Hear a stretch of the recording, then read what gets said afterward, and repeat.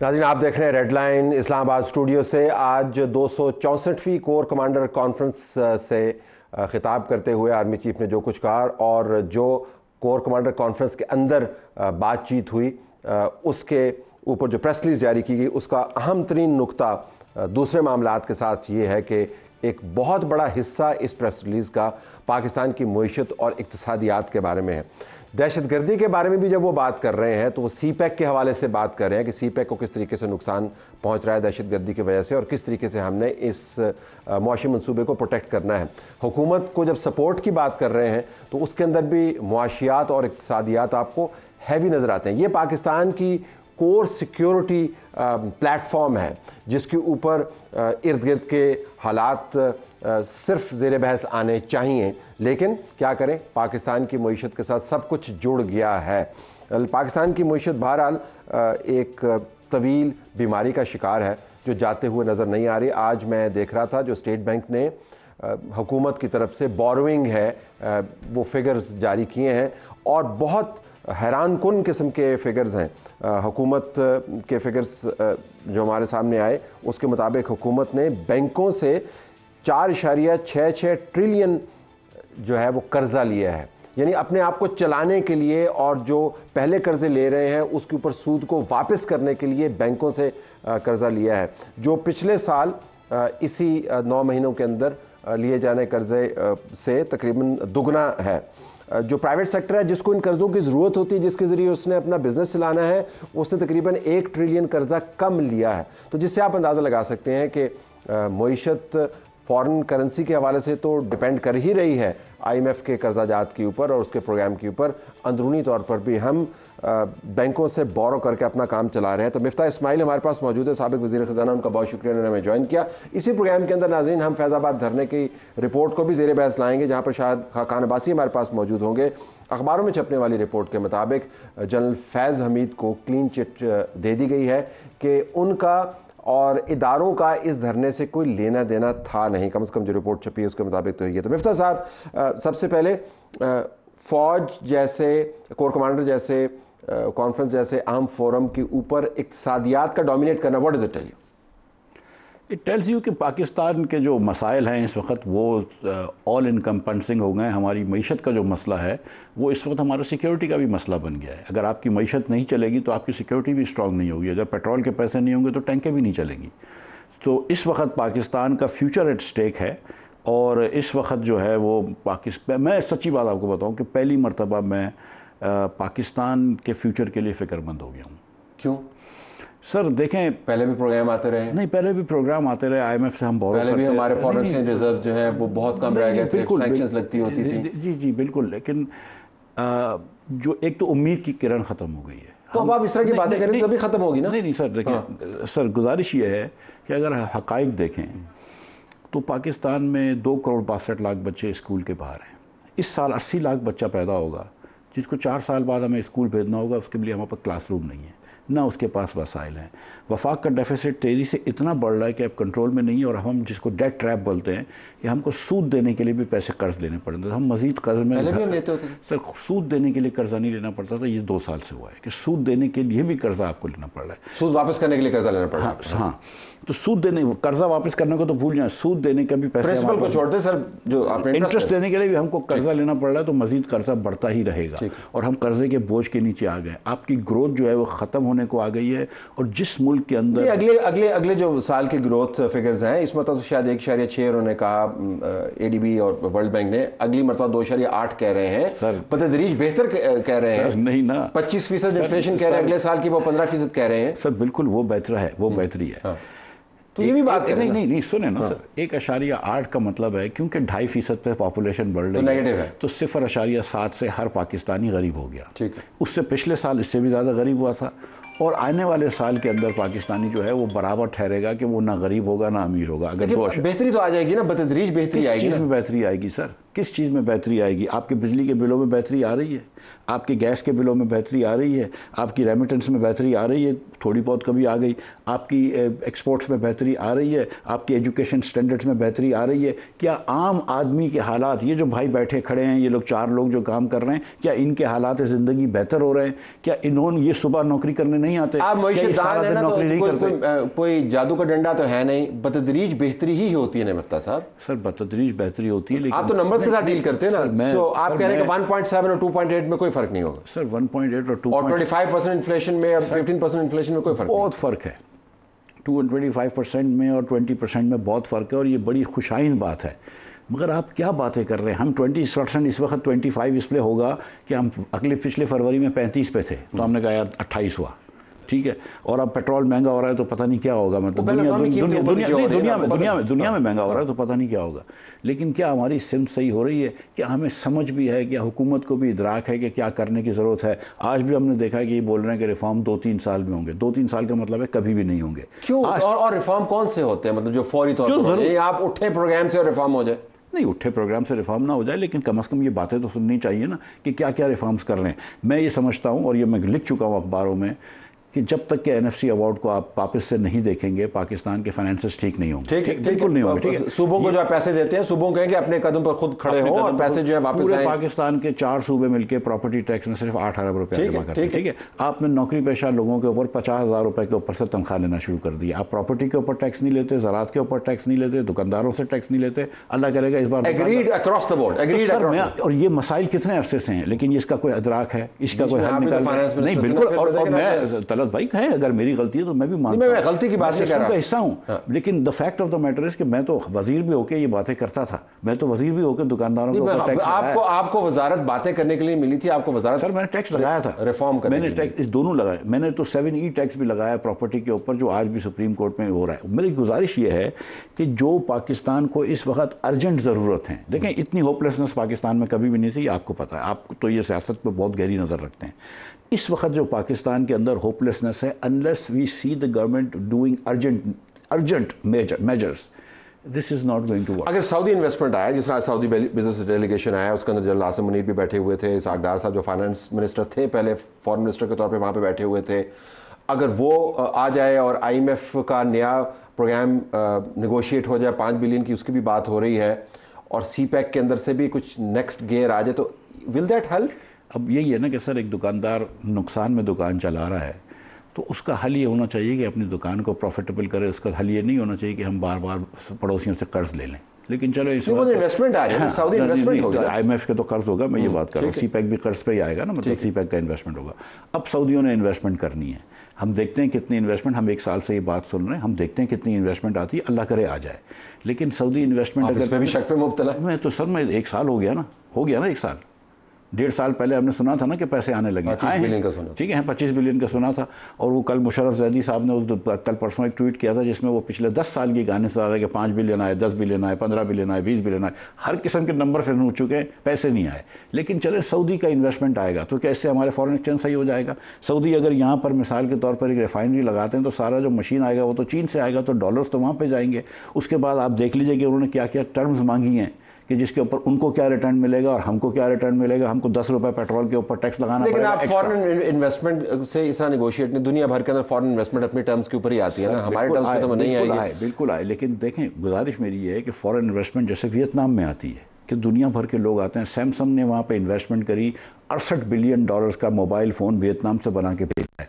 पाकिस्तान में पिछले दस साल तो एच आर उनका डेवलप्ड है ना जी? पाकिस्तान तो हमारा नहीं है ना। हाँ, तो एच आर डेवलप्ड है ना? तो फिर मायूस होने की बात है या नहीं है नहीं हम हमारे पास है हम करें ना फिर। देखिए मेरी बात बीस साल के अंदर 20 साल में पाकिस्तान में क्या एक डॉलर का इन्वेस्टमेंट आया है जो पाकिस्तान से कोई माल बना के एक्सपोर्ट करता हो? ज़ीरो आंसर आंसर ज़ीरो जो आपका फॉरेन इन्वेस्टमेंट आता है वो आपके यहाँ मोबाइल फ़ोन आपको बेचने होते हैं तो आता है। आपका फॉरेन इन्वेस्टमेंट आता है कि गाड़ियाँ आपको बेचनी है तो आता है। जो हमारा नेट डॉलर आउटफ्लो होता है आपने आज तक वो सारे कंज्यूमर आइटम्स है आप नहीं कंज्यूमर आइटम्स हैं कोई भी आइटम हो लेकिन आपका नेट इनफ्लो ज़ीरो होता है। आपने कोई इन्वेस्टमेंट नहीं ला सके दुनिया से कम्पीट करके कि यार सैमसंग सोचे कि चलो वियतनाम में नहीं पाकिस्तान में इन्वेस्टमेंट करें। आप वो हालात ठीक नहीं कर रहे। आप तो चले Saudi Arabia why is that हम क्यों नहीं कर पा let's focus the core issue क्या है?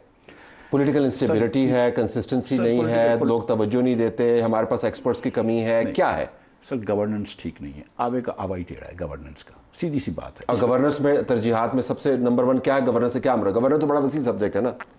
सर कोई थाना भी है कचहरी भी है सड़क भी है सीवरेज भी है सब कुछ है। सर सब चीज़ें ही ठीक नहीं है ना। तो वियतनाम में सब कुछ ठीक है? नहीं वियतनाम में सब चीज़ें कहीं ना कहीं हमसे बेहतर होंगी ना। क्या बांग्लादेश में अब मैं आपको बता रहा हूँ बांग्लादेश में हमसे कुछ ना कुछ बेहतर होगा तो ही कोरियन जाके बांग्लादेश में इन्वेस्टमेंट करते हैं ना। जो मुल्क एक किलो रोई नहीं उगाता वो मुल्क जो है वो हमसे ज़्यादा टेक्सटाइल एक्सपोर्ट कर रहा है तो कहीं ना कहीं तो हम लैक कर रहे हैं ना। हमारे यहाँ पे आपका कोर्ट के अंदर केसेस चल रहे होते हैं। वो रेकोडिक का फैसला चौधरी इफ्तार ने दिया। जो मतलब आप आप कोर्ट के अंदर केसेस चल रहे होते हैं आप मुझे बताइए एक दुकानदार की दुकान पे अगर कोई आदमी किराए पे रहता हो उसको 20 साल तक वो नहीं निकलवा सकता। वो केस सुप्रीम कोर्ट तक जाता है। इस तरह कोर्ट चलती हैं। क्या दुनिया में कहते हैं प्रडिक्टेबल फैसले होने चाहिए। कोर्ट के यहाँ पे फैसले प्रडिक्टेबल नहीं होते। एक मिसाल दे रहा हूँ आपको।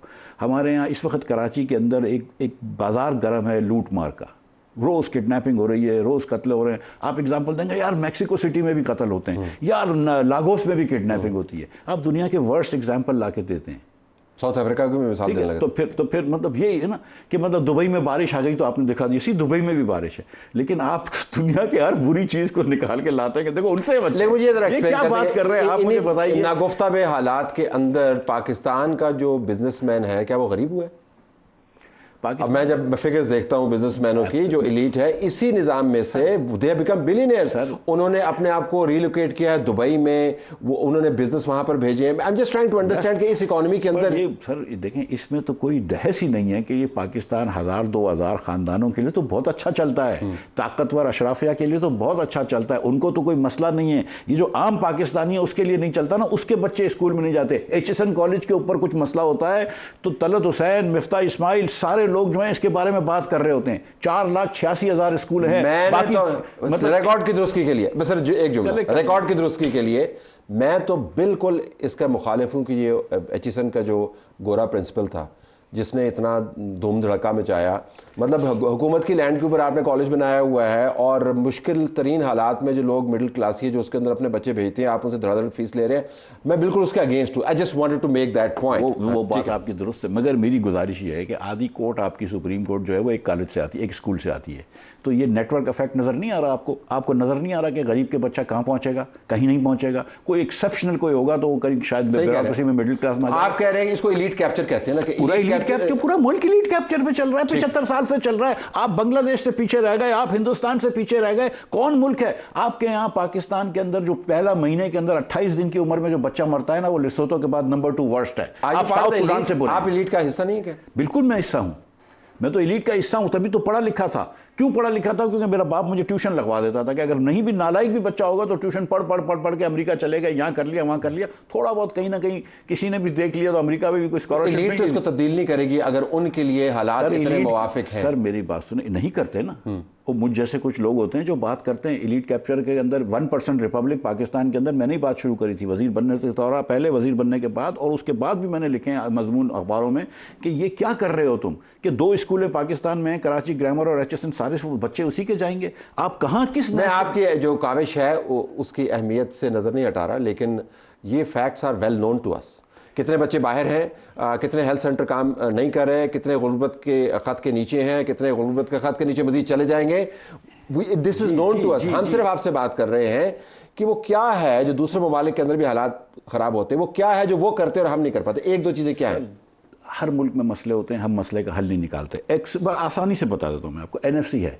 जब तक कि आप एनएफसी को चेंज नहीं करेंगे वफाक का फाइनेंसिंग ठीक नहीं होगा आप जो कर लें।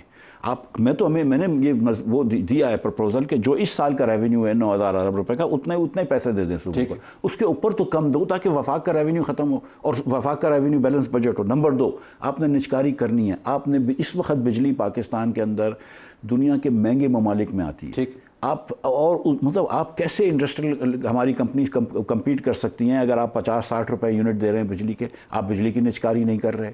आपने पूरे सिस्टम के अंदर गलत चॉइसेस करी हुई हैं, गलत फ्यूल्स करे हुए हैं। कभी फर्नेस ऑयल डाल देते हैं इंपोर्टेड कोल डाल देते हैं। ये हमने, क्योंकि आपके पैसे नहीं लगे होते, आपने फैसले कर लिए। नंबर दो, नंबर तीन, आपका कोर्ट सिस्टम नहीं चलता है। आपकी ब्यूरोक्रेसी जो है, उसके अंदर आप ना हायर कर सकते हैं, ना फायर कर सकते हैं, ना बिकॉज़ ऑफ़ नैब उनसे फैसले ले सकते हैं, ना आप इंडक्ट कर सकते हैं, ना किसी को निकाल सकते हैं। ये किस किस्म की जमूत का निज़ाम है? उसके बाद आपने पॉपुलेशन ग्रोथ के ऊपर कोई काम तो करो। 80 लाख बच्चे हम नहीं खिला सकते 80 लाख बच्चों को स्कूल में नहीं लेकिन आप, आपने देखना एक, एक, एक, एक, एक ही जुमले के अंदर अब फरमाइए कंप्लीट सर ये सर ये आप पेंशन की मैं आपसे बात हाँ। कर हुकूमत का पेंशन बर्डन पेंशन सर इस वक्त 700 अरब रुपए इस साल। आज से आठ साल बाद ये पेंशन जो है ना वो तीन हज़ार अरब से ज़्यादा होगा। साढ़े तीन हज़ार अरब और वो डिफेंस के एक्सपेंडिचर से ज़्यादा हम नहीं दे सकेंगे। अगर हम आज हमारे इसके अंदर इतनी विजन और सोच नहीं है हमारे लीडरान में कि आज ये पेंशन को रिफॉर्म करें तो ये मुल्क आठ साल बाद तो मैं इससे बिल्कुल पेंशन के बिल्कुल इतफाक करता हूँ लेकिन आपने एक ही जुमले के अंदर short term medium term long term को कर दिया गुडबंड मैं जानना चाह रहा हूँ कि अगर हमने इसको लिफ्ट अप करना है तो हमने मान लिया कि जो सूबों को जो पैसे जाते हैं वो सूबों को कहें कि खुद अपने वसाइल से जनरेट करें और खुद रन करें वो स्टार्टिंग पॉइंट हो सकता है। इसके अलावा क्या? मतलब क्या हम सर सर आप लोकल गवर्नमेंट को बनवाएँ लोकल गवर्नमेंट को आईनी बनवाएँ अभी बनवाएँ इलेक्शंस करवाएँ मौसर करें मौसर करें और तालीम और सेहत लोकल गवर्नमेंट को दे दें। फिर ठीक। अगर आप देखें जो हुकूमत का सर्विस प्रोवाइड करने का जो टीयर होता है वो लोकल गवर्नमेंट्स होती हैं वो है ही नहीं मफलूज करा हुआ है आप वो करवाइए। आप फॉरन पॉपुलेशन प्लानिंग पे काम करें। ये प्राइम मिनिस्टर जो पावर के ऊपर मीटिंग लेते हैं फाइनेंस के ऊपर मीटिंग लेते हैं वो ज़रूर लें। लेकिन एक पॉपुलेशन प्लानिंग पे भी मीटिंग ले लें। आप देखें कि इधर क्या हाल है। हाँ आधी प्रेगनेंसीज पाकिस्तान में वो कहते हैं कि अनवांटेड हैं क्योंकि लोगों के पास सहूलतें नहीं है कॉन्ट्रासेप्शन देखिए मैं मैं खुद डेवलपमेंट सेक्टर के ऊपर उससे बड़ी सिंपथी रखता हूँ और समझता हूँ कि वो बड़ा ज़रूरी है लॉन्ग टर्म प्रोग्रेस के लिए और इसी के लिए तो आप काम करते हैं। अगर आप लोगों को तालीम सेहत जान का तहफ़ ना दे पाएँ तो फ़ायदा क्या रियासत के अमूर का? लेकिन हिंदुस्तान के अंदर भी जो ह्यूमन डेवलपमेंट इंडेक्स है वो इतना अच्छा नहीं है but they have done something right I am just trying to understand what is that बात सुने। हम बड़ी बात करते हैं कि हिंदुस्तान में आईटी का एक्सपोर्ट होता है। हिंदुस्तान की जो आईआईटी यूनिवर्सिटियाँ हैं, तेईस या सत्ताईस कैंपस है दुनिया की बेहतरीन अंडर ग्रेजुएट एजुकेशन दे रही हैं। पहले हुकूमत, हिंदुस्तान के पहले बनने के 11 साल 10 साल में इन्होंने पाँच आई लगाए थे। हमने 11 साल में सात प्राइम मिनिस्टर्स चेंज किए। हमारा जो बच्चा होता है ना वो अखूत फाउंडेशन या सैलानी वेलफेयर ट्रस्ट से तीन महीने का डिप्लोमा लेता है। वो बच्चा बड़ा होशियार है लेकिन उसको सैलानी वेलफेयर ने तीन महीने का डिप्लोमा दिया है। वहाँ का बच्चा जो है वो आईआईटी से यू नो कंप्यूटर साइंस में और मैथ के अंदर वो लेकर आया है डिग्री लेकर आया है। हम कैसे कम्पीट कर सकते हैं? हम ये समझते हैं कि ज़मीन दे दो बिल्डिंग बना लो तो आईटी का एक्सपोर्ट हो जाएगा। मतलब बच्चों को तालीम नहीं दोगे तो जायलों की कौम बड़ी करोगे मुझे, मुझे आपसे गिला ये है कि इसने आपने तमाम बयानी के अंदर जो है वो आ, हमने जो फोरम बनाया हुआ है एफ़ सी उसका आपने ज़िक्र नहीं किया। क्योंकि हमारी उससे बड़ी उम्मीदें वाबस्ता हैं कि इन्वेस्टमेंट फैसिलिटेशन काउंसिल जो है हमारी वो पाकिस्तान में क्रिश्मा कर देगी। व्हाट्स योर टेक अल्लाह करे। अल्लाह करे हो जाए। करिश्मे का इंतज़ार तो हम कर रहे हैं सत्तर साल से। कि कोई एक्सपर्ट ओपिनियन दे ना आपको एक्सपर्ट ओपिनियन क्या आ, आपके वाले मोहतरम ने आपको इतनी अच्छी तालीम जो है वो हमें खुदावन ताला की तरफ़ रुजू करने के लिए नहीं थी उसके लिए तो मौलाना मौजूद है। हम तो आपसे वैसे जानना चाहते हैं ज़्यादा तौर पर मान सर खुदा तो हम सबका है ना ज़ाहिर है मतलब लेकिन आपने तालीम जो है अल्लाह की ज़रूरत तो हम सबको है। ऑफ़ कोर्स है मुझे तो सबसे ज़्यादा है। आप मुझे बताएँ तजियाती तौर पर आप कैसे देखते हैं? सर मैं आपसे गुजारिश कर रहा हूँ कि अगर ये एस आई एफ़ सी इस चीज़ का सब्सिट्यूट है कि हम हुकूमत में रिफॉर्म्स करें और गवर्नेंस ठीक करें तो टेम्प्रेरी वो बेहतरी कर सकता है लॉन्ग टर्म उसका कोई फ़ायदा नहीं होगा। अगर एस आई एफ़ सी को आप रखते हैं लेकिन साथ साथ एस आई एफ़ सी की मदद से हुकूमत हुक्मरानी को रिफॉर्म करते हैं लोकल गवर्नमेंट बनवा लेते हैं आप नैब को ख़त्म करवा देते हैं आप ब्यूरोक्रेसी के अंदर रिफॉर्म्स लेकर आते हैं। ब्यूरोक्रेसी के अंदर लेटरल इंडक्शन भी हो और फायरिंग भी हो। अगर आप जो है फाइनेंसिंग ठीक कर सकते हैं मुल्क की। मुल्क की फाइनेंसिंग को सही स्टेबल कर देते हैं तो फिर तो बड़ी फा, बहुत फ़ायदा है। लेकिन अगर S I F C is use कि आप सऊदी से चार बिलियन ले आए और उनका काम जल्दी से करवा दिया तो फिर शॉर्ट टर्म का तो फिर इसका मतलब है कि एस आई एफ़ सी जैसी बॉडीज़ जो हैं उनको सुपरा कॉन्स्टिट्यूशनल रोल भी अदा करना होगा। तो फिर सारा फौज के हवाले करते ना फिर आप। मामला।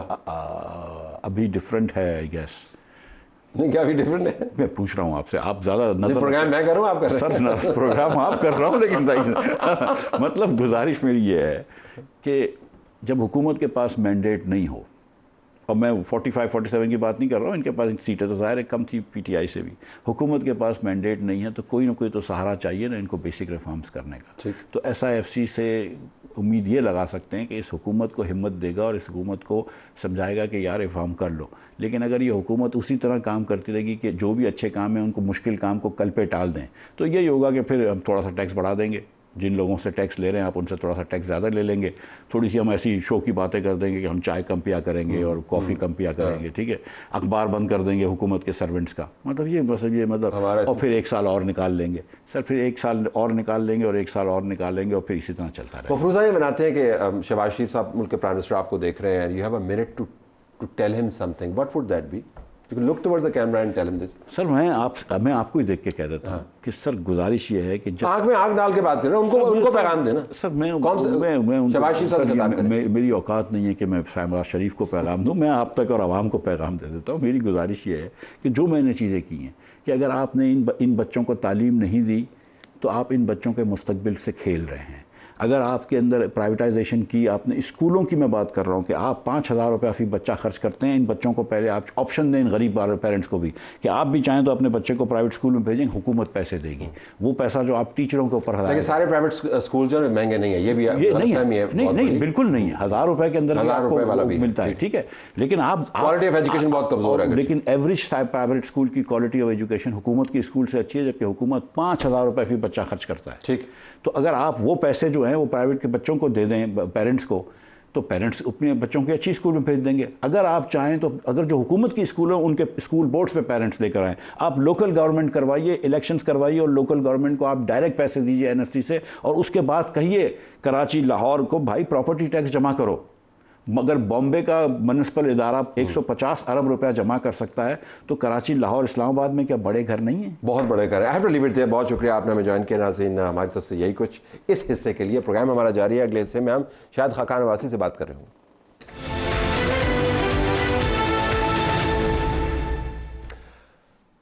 नाजिन पाकिस्तान की तारीख़ में अहम तरीन वाक़ात में से एक वाक़ 2017 में हुआ, जब फैज़ाबाद के ऊपर तहरीक लबैक पाकिस्तान ने इज्तम किया, धरने की शक्ल इख्तियार की, पाकिस्तान के कैपिटल को चौक कर दिया। हुकूमत में भगदड़ मच गई। उसके बाद उसका अंजाम क्या हुआ? मिनिस्टर्स को रिज़ाइन करना पड़ा। मिनिस्टर्स को बाद में उस धरने के नतज भुगतने पड़े। वैसन इकबाल साहब के ऊपर कातलाना हमला हुआ। मिनिस्टर साहबान में से चंद एक को मुल्क छोड़ने पड़े। उनको इस्लाम में से खारिज होने के फतवे बर्दाश्त करने पड़े। और 2018 में जब इंतबात हुए तो मजहबी वोट जो है, उस धरने के नारों की वजह से पाकिस्तान मुस्लिम लीग नून से हट गया। अब वो धरना जो है उसके ऊपर कोर्ट की तरफ़ से कमीशन बना। कमीशन की कुछ रिपोर्ट जो है, वो लीक हुई है और जो लीक हुई है, उसके मुताबिक उस वक्त की इंटेलिजेंस के करता धरता अगर तो वो डीजीसी थे एक दर्जा नीचे थे D G I S I से लेकिन बड़े अहम थे। लेफ्टिनेंट जनरल फैज़ हमीद उनको क्लीन चिट दी गई है और उसके साथ साथ ये भी रिपोर्ट हुआ है कि जो अस्करी क्यादत थी, उनमें से किसी का कुछ लेना देना उसमें था नहीं। सियासतदानों को भी वहाँ पर बयान देने पड़े और हम तो ये कर रहे थे कि दूध का दूध और पानी का पानी होगा, लेकिन पता ही चला कि कम से कम इस्टेब्लिशमेंट का कोई लेना देना नहीं था जो पॉपुलर बिलीफ से बड़ा अलहदा है ख्याल ये किया जा रहा था कि झरना डिज़ाइन किया गया था मुस्लिम लीग की गर्दन नापने के लिए और जब वो गर्दन नप गई तो धरना ख़त्म करवा दिया गया। शायद खाकान अब्बासी सबक वज़ी अजम जो इस धरने कमीशन के सामने पेश भी हुए और बयान भी उन्होंने दिया। उस वक्त ये वज़ी अजम थे जब ये धरना हो रहा था। पहले भी हम इनसे बात कर चुके हैं लेकिन आज खबर नहीं है तो हमने दोबारा इनको जहमत दिया आपका बहुत शुक्रिया जी। शुक्रिया जी। जो लेजेंड है इस वक्त वो ये है जो खबरों के ज़रिए बन रहा है जो लीक हुई है कि आपने दूसरे सियासतदानों के साथ अपने अलहदा बयान देते हुए जल फैज़ हमीद के बारे में कहा जी कि इनका इस धरने से कोई लेना देना नहीं था। Is that true is that but नहीं, ऐसी कोई बात नहीं है। ये कमीशन बनाया गया था। उनके पास सुप्रीम कोर्ट के दिए हुए सवाल थे। तो मैंने कमीशन को सबसे पहली बात ये कही कि मैं वज़ी अजम था। तो वहाँ हुकूमत ने जो कुछ किया, ये नहीं किया, वो मेरी ज़िम्मेदारी है। मैं उसे अब मुस्तना नहीं हो सकता। ये बड़ी सीधी बात है ना कि मैं ये कहूँ जी फलाना ये कर गया तो मेरे वज़ीर ने ये कह दिया तो मैंने ये कहा था। ऐसी कोई बात नहीं। मैं कि मैं ज़िम्मेदार हूँ। आप बताएँ जुर्म क्या है? बहरहाल उनके पास कोई बात नहीं लेकिन सवाल आपने करना शुरू कर दिया ना उनसे? नहीं मैंने ये कहा कि मैं मैंने ज़िम्मेदारी कबूल जो जो एक्ट ऑफ़ कमीशन जो मिशन है जो वजी की ज़िम्मेदारी थी वो मेरी ज़िम्मेदारी है। मैं उससे मुस्तना नहीं हूँ ना मेरे पास कोई उज़र होना चाहिए। उनके अजीब अजीब से सवाल थे। तो मैंने कहा आप ऐसा करें लिख के दे दें मैं आपको लिख के जवाब दे दूँगा ताकि कोई इबाम ना रहे। कुछ डॉक्यूमेंट्स थे उन डॉक्यूमेंट्स की कोई एक मिनट्स ऑफ़ मीटिंग थे उनकी भी कोई यानी कोई उनमें मोर नहीं थी कि सही है नहीं है। यू नो वेरिफिकेशन होनी चाहिए ना। मेरे पास कोई तरीका नहीं था वेरीफाई करने का। बहरहाल मैंने कहा आप लिख के सवाल दे दें। और लिख के दे दी मैं लिख के जवाब दे दिया। बात खत्म हो गई। अच्छा। मेरा और कोई कमीशन के साथ ताल्लुक नहीं इस, इसके अलावा तो आपने उन जवाब में क्योंकि मकसद यह था कि ज़िम्मेदारी का तयन किया जाए जिस तरह मैंने इब्तदाई कलमात में गुजारिश की कि बहुत अहम वाक़ था। और इस वाक़े के असरात अभी भी सिक्स जो जजेस के लेटर के अंदर भी आपको नज़र आते हैं। इंटेलिजेंस एजेंसीज का किरदार क्या है? वो सियासी मामला के अंदर मुदाखलत करते हैं। अब जो चीफ जस्टिस हैं उनके खिलाफ जो रेफरेंस बना, वो उनकी उस जजमेंट से मुंसलिक किया जाता है तो इट्स अ बिग इवेंट तो आपके पास मौका था कि ये बताएँ कि इंटेलिजेंस एजेंसीज के सरबराहान ने क्या इस धरने को मुनज़म करने में किरदार अदा किया? देखिए, पहली बात ये है कि मेरे पास कोई सबूत इसका नहीं है। सीधी सी बात है। दूसरी बात यह है कि मैं कमीशन के सामने वही बात करूँगा जो सवाल वो पूछेंगे। वहाँ मैं खुद तो इन्फॉर्मेशन वॉल्टियर नहीं कर सकता ना। ये मैं स्पेकुलेट नहीं कर सकता, क्या सारा ही मैं नहीं कर सकता। कि जी मेरा ये ख्याल है मैंने ये बात सुनी है। सुनी सुनाई बात आप नहीं करते। ठीक। मैंने उनसे कहा आप लिख के सवाल दे दें मैं लिख के जवाब दे दूँगा और मैंने यही किया। अगर वो इजाज़त दें तो मैं वो लिख जो सवाल उन्होंने पूछे थे जिनमें से अक्सर का रसेरा ना पैर है। और ये कोर्ट की तरफ़ से उनको सवाल दिए गए ये उन्होंने मुझे दिए थे कोर्ट ने उनके पास कोर्ट की डायरेक्शन थी उसमें ये लिखे हुए थे उन्होंने तो अगर सवाल मुख्तलिफ़ पूछते तो हो सकता है जवाब ज़्यादा मुफसल देते। अगर वो सवाल मुझसे और भी सवाल पूछते तो मैं उसका जवाब दे देता। मैं पूछ लेता हूँ किरदार था? मेरे पास कोई सबूत नहीं है। तो किरदार था ये नहीं था। हमने तो मैनेज किया ना उस इशू को। धरना हुआ। पंजाब पुलिस धरने को लेकर फैजाबाद छोड़ के गई थी। यानी आपकी अपनी हुकूमत? जी पंजाब पंजाब हुकूमत जो थी शबाज शरीफ साहब उन्होंने कोई रुकावट इस धरने के लिए नहीं की। वो आगे फैजाबाद पुल पे छोड़ के चले गए। तो साजिश उन्होंने की फिर? तो साजिश में किसको साजिश आप कहें जो भी कहे नहीं मतलब हमने उसके बाद जो वाकयात हुए उसका किसी ने पूछा भी नहीं। मैं उसका कुछ मैं आई विटनेस जी आपने इसी सीट में बैठ के मेरे प्रोग्राम में बताया हुआ कि क्या आपने ऊपर से तस्वीरें ली और पुलिस की क्या हालत थी वगैरह वगैरह आपने बताया वो जो पुलिस एक्शन हुआ वो हमारी डायरेक्शन पे नहीं हुआ। वो कोर्ट की डायरेक्शन वो कोर्ट की डायरेक्शन थी। कोर्ट ने कहा था कि एक दिन में उनको उठा के ठीक है। हमने मैंने सिर्फ़ एक मीटिंग की इस इशू पर। मैंने कहा भाई चलने दे यार ये मामला यहाँ चलने दे धरना चलने दे? ताकि कोई जानी नुकसान ना हो ना। जब पंजाब पुलिस भी कोऑपरेट नहीं कर रही हम्म। तो इस्लामाबाद पुलिस तो लिमिटेड उनके पास हेड अराउंड सो आप कह रहे हैं कि आपकी पार्टी का चीफ मिनिस्टर और आपकी पार्टी की हुकूमत यानी आप प्राइम मिनिस्टर तो उस हुकूमत से आप ये नहीं कह सकते कि आपने किया किया? मतलब क्योंकि कोई डिबेट नहीं हुई देखिए पर उस पर भी आप चले जाएँ ना। उस वक्त मॉडल टाउन का वाक़ हुआ हुआ था। ठीक। पंजाब हुकूमत मफलूज थी। वो कोई ऐसा अमल नहीं करना चाहते थे कि फिर रिपीट हो जाए मॉडल टाउन वाला। ठीक। वो तमाम हुकूमत मफलूज हो चुकी थी। पता नहीं पिंडी में मेरा ख्याल है कोई पंद्रह बीस हज़ार के करीब नफरी उनकी डिस्पोजल पे थी। एक आदमी भी पंजाब पुलिस का वहाँ पे नहीं आया।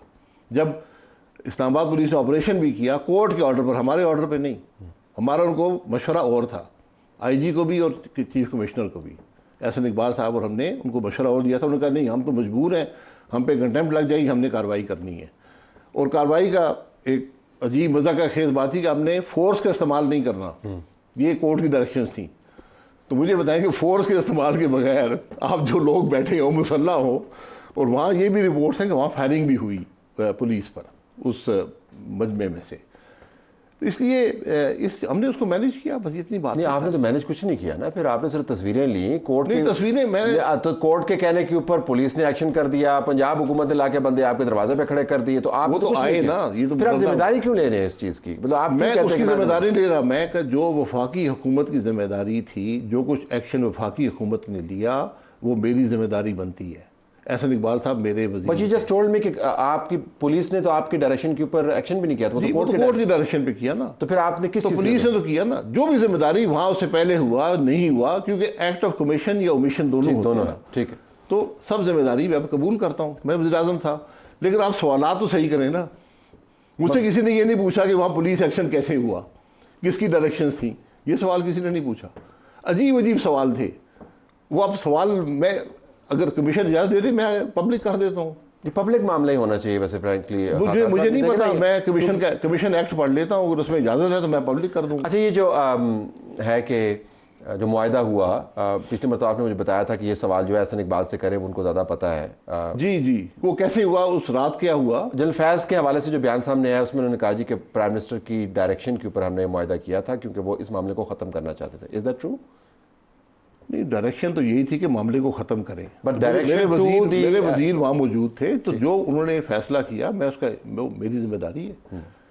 जब एक कैबिनेट का मिनिस्टर वहाँ हो उसकी ज़िम्मेदारी हो तो वो प्राइम मिनिस्टर या कैबिनेट की ज़िम्मेदारी ऐसे मुआदात के अंदर फिर अमूमन हर लफ्ज़ परखा भी जाता है तो वो आपके पास ड्राफ्ट आया वापस आपने नहीं वो ऐसा इकबाल साहब भी कर रहे थे वो मैंने कबूल करता हूँ उसमें जो शिक, शिक नंबर छः है उसके अंदर उस वक्त के आर्मी चीफ की बड़ी तारीफ़ भी की गई है वो आपकी फिर मर्ज़ी से हुआ होगा।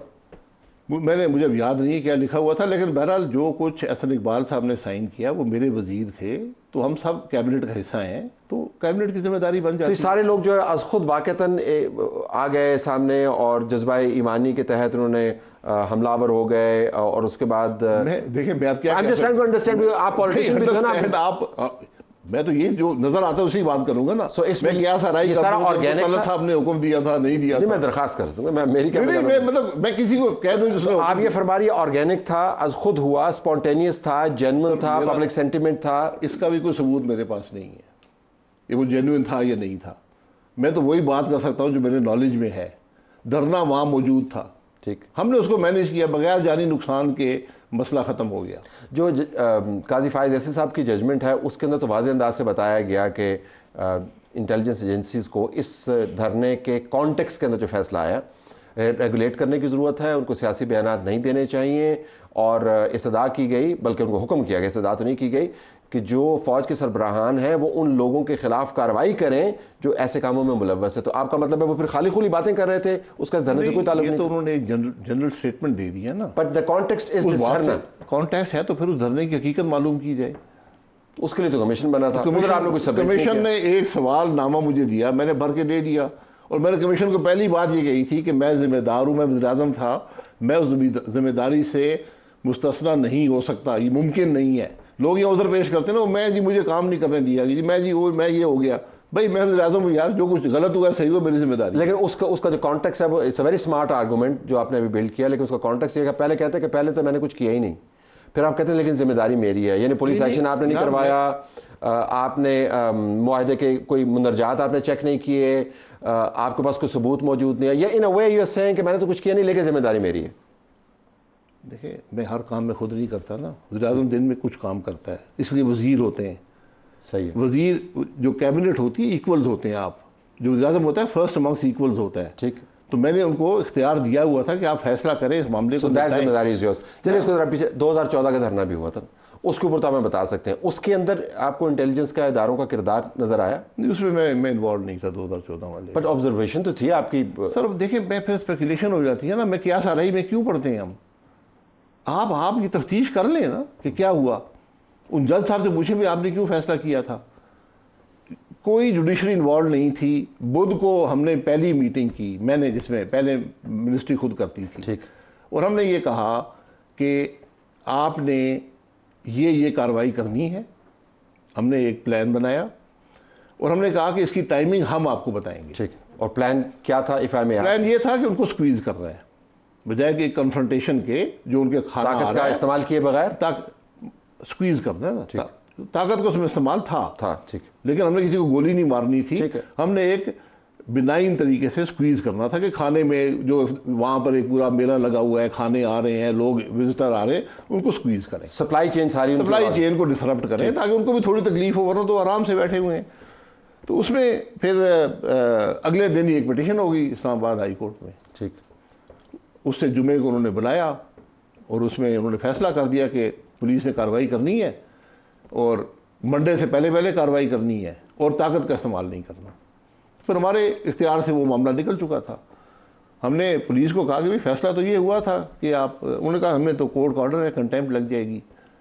ये बातें कमीशन ने हमसे नहीं पूछी मैं आपने ज़िक्र किया तो बता रहा हूँ। अगर पूछे तो उनको भी लिख के दे देते। अच्छा अगर आप जरा अब डिटैच होकर धरने से कि ये कोई ऐसा मामला है जिससे हम कोई बड़े कौमी मामला के ऊपर रिफ्लेक्ट कर सकते हैं? आपके ख्याल में एक इट्स अ डेड हॉर्स या हम उसको खाम खा बीट कर रहे हैं? सर डेड हॉर्स मुल्क की बेजती तो होती है ना। आप आपका दारुल हुकूमत चंद लोगों ने बंद किया हुआ हो एयरपोर्ट आपका रास्ता बंद हो दारकूमत में आने का मेन रास्ता बंद हो पैंसठ एम्बेसियाँ हैं शहर के अंदर वो सब रिपोर्ट देती होंगी यार यहाँ तो दारकूमत ही बंद हुआ है। तो आपकी मुल्क की सुबकी और, बे, और बेजती तो होती है हुकूमत की बेजती होती है रेट ऑफ़ द गवर्नमेंट वहाँ डिनाई हो जाती है। तो बहरहाल ये कोई नई बात नहीं हुई होता रहा है पाकिस्तान में बहुत दफ़ा हुआ है। चौदह में भी हुआ फिर यहाँ फिर हुआ। इसकी पॉलिटिकल कॉस्ट आपको उठानी पड़ी 2018 जी बिल्कुल पॉलिटिकल कॉस्ट भी होती है। इसकी क्या उठानी? इसकी हुआ कि आपके वज़ीर को रिज़ाइन करना पड़ा।